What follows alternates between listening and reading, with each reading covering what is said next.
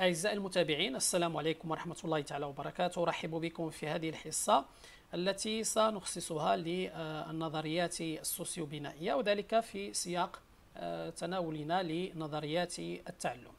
إذا بداية ما المقصود بالسوسيوبنائية socioconstructivisme والتي تسمى أيضا بنظرية البنائية الاجتماعية أو النظرية البنائية الاجتماعية.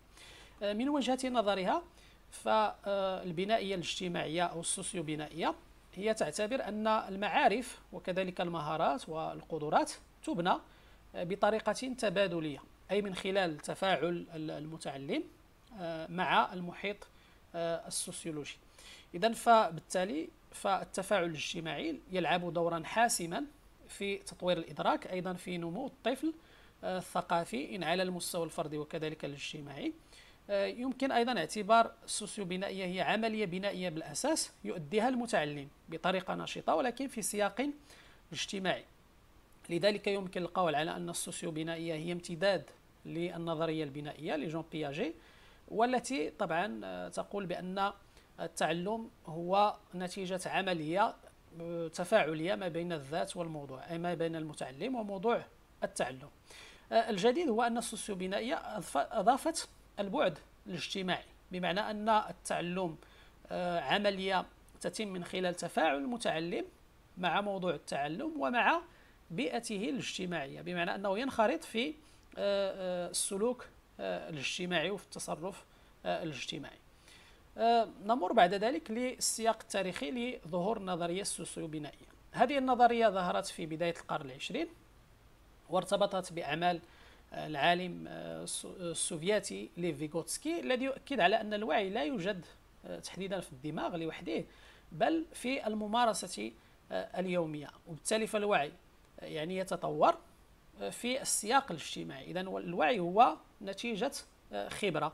وهذه الخبرة تكتسب عبر السياق الاجتماعي ومن خلاله أيضا النمو الفكري هو هو ذو طبيعة اجتماعية بالأساس وليست بيولوجية فقط. إذا لا يمكن إرجاع التعلم للطبيعة البيولوجية ولكن لا بد من استحضار البعد الاجتماعي والسياق الاجتماعي.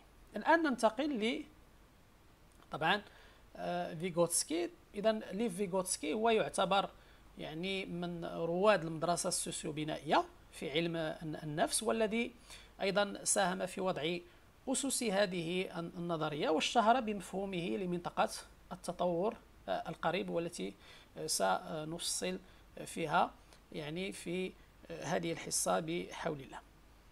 نمر بعد ذلك أعزائي ل يعني التعرف على مبادئ النظرية السوسيوبنائية إذا النظرية السوسيوبنائية كما قلنا يعني تعتبر أن التطور المعرفي للطفل يحدث على مرحلتين. المرحلة الأولى هي تتم على المستوى النفسي آه، الداخلي يعني العمليات آه، الداخلية والعمليات الذهنية. والمحطة الثانية وهي التفاعل الاجتماعي. إذا من خلال يعني المستوى النفسي الداخلي والمستوى الاجتماعي إذا يحدث آه، ويتحقق التطور المعرفي للطفل. كذلك من مبادئ النظرية السوسيوبنائية أن التعلم هو نتاج تفاعل ثلاثي الأبعاد. بين الطفل من جهة وموضوع التعلم من جهة ثانية وكذلك السياق الاجتماعي والثقافي من جهة ثالثة.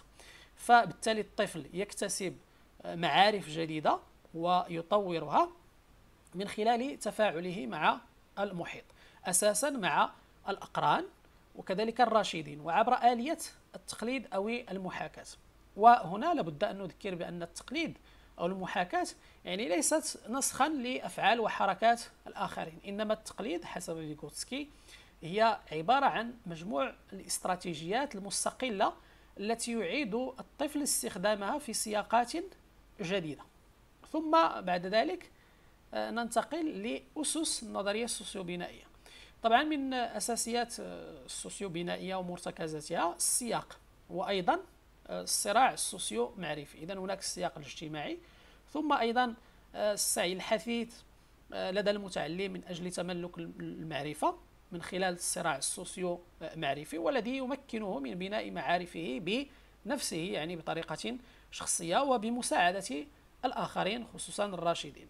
إذا وذلك على ضوء مكتسباته وعلى ضوء العلاقات كما قلنا التي يربطها مع الآخرين خصوصا الراشدين الذين يساعدون المتعلم في سبيل تحقيق تعلماته. ثم أيضا من أسس النظرية السوسيوبنائية التعلم هو عملية بنائية على ضوء المكتسبات ولكن لابد أن تكون هذه العملية في سياق ثقافي واجتماعي. كذلك أهمية التفاعل الاجتماعي في تنمية في تنمية يعني الجانبين أولا آه، العاطفي آه، ثم أيضا الجانب آه، المعرفي. كذلك المعرفة فهي تتشكل بواسطة التأثير الثقافي خصوصا يعني القيام كذلك اللغة وتنمو وتتطور في السياق الاجتماعي كما قلنا من خلال العلاقات التي يربطها المتعلم مع الآخرين خصوصا يعني الأقارب كذلك المدرسين والأقران وغيرهم. نمر بعد ذلك للحديث عن آه، آه، يعني أهم مفهوم في نظرية فيغوتسكي وهو مفهوم منطقة التطور القريب. إذا منطقة التطور القريب هي منطقة تقع بين يعني محطتين أو مرحلتين. إذا المرحلة الأولى أو المحطة الأولى هي ما يسمى بالنمو الحالي للطفل. بمعنى أن الطفل يكون قادرا على القيام بأشياء معينة بطريقة شخصية يعني دون مساعدة من الآخرين. إذا فهذه تسمى ب آه، منطقة النمو الحالي. في حين أن المنطقة آه، يعني الثانية وهي النمو المتوقع يعني النمو الذي يحققه المتعلم التطور الذي يحصل في يعني آه، المرحلة النمائية للطفل أو ما ينجح الطفل في القيام به من خلال مساعدة الآخرين. إذا فمنطقة التطور القريب هي يعني واحد الفضاء أو المكان يتحقق داخله النمو ويتميز دائما ب نوع من الدينامية بمعنى النتائج المحصل عليها والتي هي في طور الاكتساب.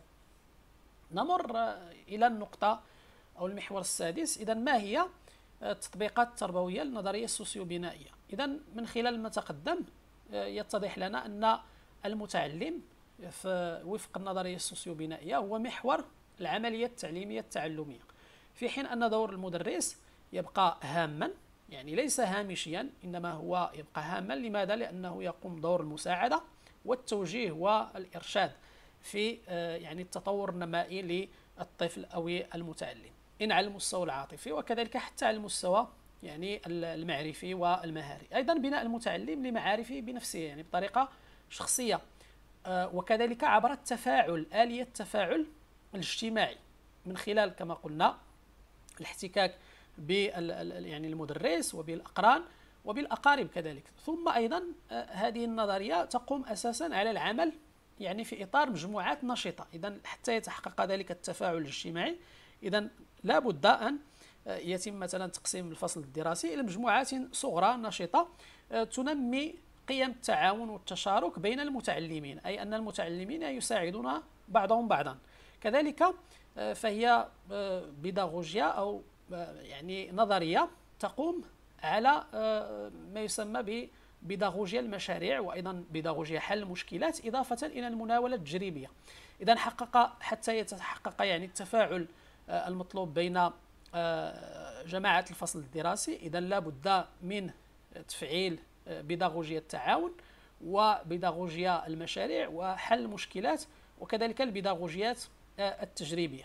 أيضا ربط التعلمات. اذا آه، يعني ما يفيد أو من أهم فوائد النظرية السوسيوبنائية أنه لا بد في تصميم البرامج الدراسية وأيضا في التخطيط للوحدات الدراسية أن يتم ربط آه، تعلمات آه، التلاميذ بالواقع الاجتماعي والثقافي. اذا لا بد من استحضار الخلفية الاجتماعية والثقافية للمتعلم في بناء التعلمات حتى تكون لهذه التعلمات معنى بالنسبة للمتعلم. إذا هكذا نكون أعزائي قد أنهينا هذه الحصة. أتمنى أن تكون حصة مفيدة وماتعة في الآن نفسه. وأن أوفق في تبليغ مضامين وعناصر الأساسية. طبعا إذا كانت لديكم أي أسئلة أو استفسارات يمكن لكم أن تتركوها لي في التعليقات. حتى أطلع عليها وأجيب عنها في حين بحول الله. وألقاكم في حصة قادمة بمشيئة الرحمن ومع موضوع آخر. فإلى ذلكم الحين. السلام عليكم ورحمة الله تعالى وبركاته.